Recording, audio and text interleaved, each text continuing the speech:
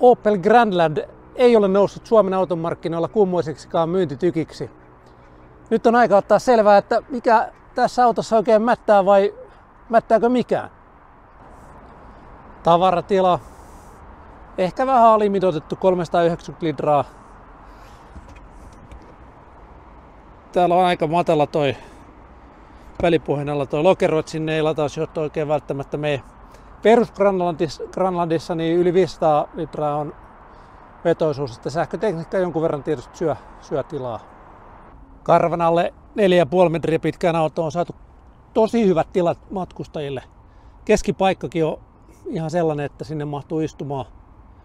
Istuin mukavuutta, tosin siellä ei hirveästi kyllä ole.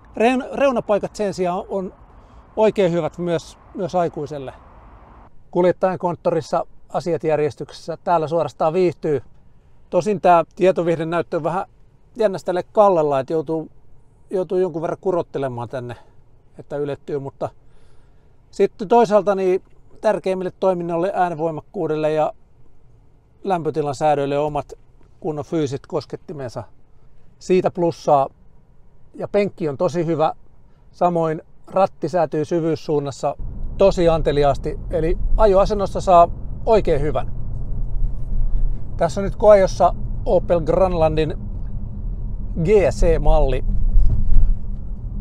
Opelillahan GC tarkoittaa vähän samaa kuin GTI Volkswagenilla, eli jonkun verran urheilullisempaa menoa on luvassa. Alusta on viritetty konin iskareilla aika tömäkään oloseksi ja ohjauksessa on sellaista karhean sorttista rehellisyyttä. Ja tehoja löytyy, kun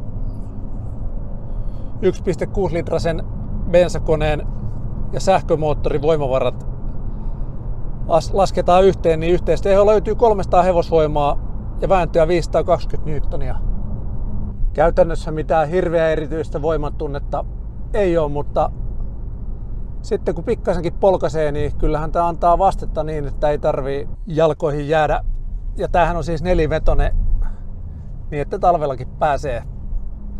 Etu- ja takaakseleiden välillä ei ole mekaanista yhteyttä, vaan taakse, taakse tuotetaan sitten voimaa, voimaa sillä sähkömoottorilla. Sähkökantama tällä lataushybridillä siinä käytännön elämässä siinä 40-50 kilometri hujakoilla, vähän ehkä alakanttiin tämän päivän standardeilla. Hintaa 50 tonnia, eli ei nyt ihan halpaa, mutta on sitä paljon kalliimpiakin autoja nähty.